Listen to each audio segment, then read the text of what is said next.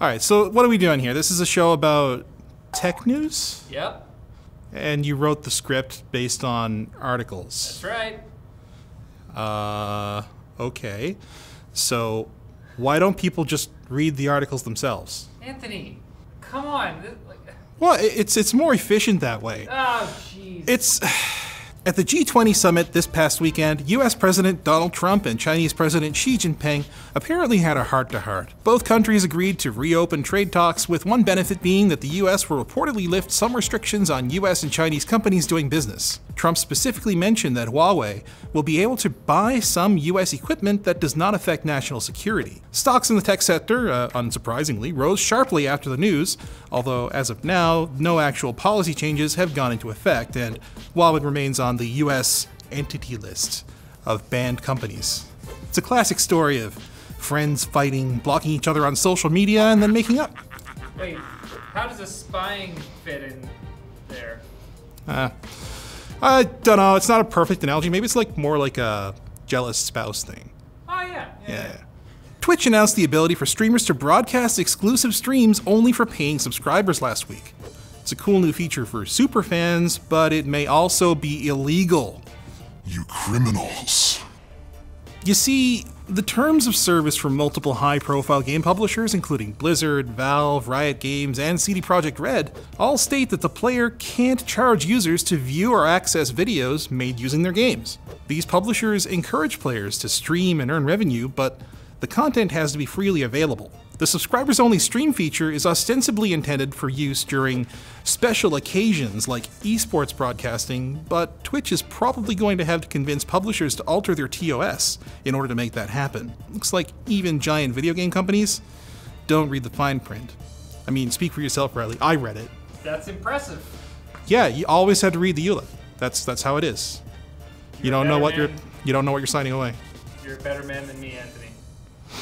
And the first beta test for the Halo Master Chief Collection on PC rolled out to select Halo Insider members on the weekend. Less than a thousand of them, though. Uh, and that gave other Halo fans what doctors call major FOMO.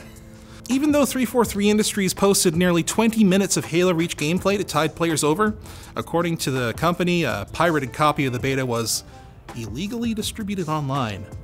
Understandably, 343 doesn't want a beta meant to get feedback on potentially janky controls to get out in the open, so they've threatened to ban the accounts of anyone found to have illegitimately downloaded or played the beta.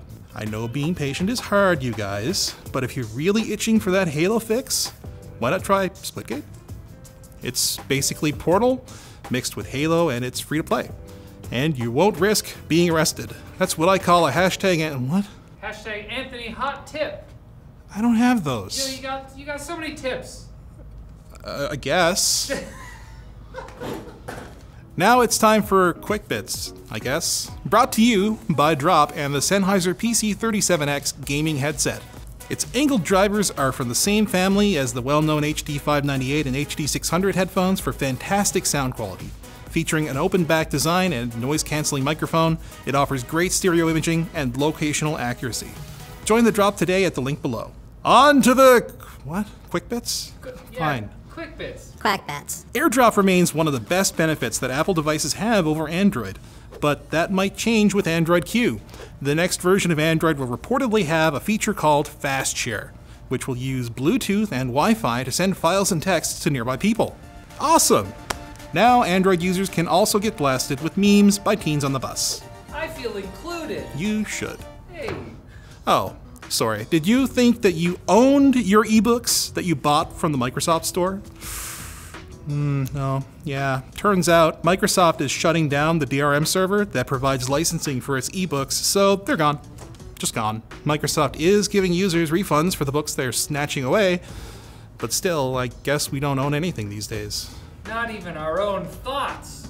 No, that's what I was thinking. Oh, sorry. SpaceX launched the first 60 of their internet providing Starlink satellites over a month ago, and they've reportedly deployed successfully. All except for three of them, which will drop out of orbit and burn up in the atmosphere, along with two others that are being intentionally scuttled.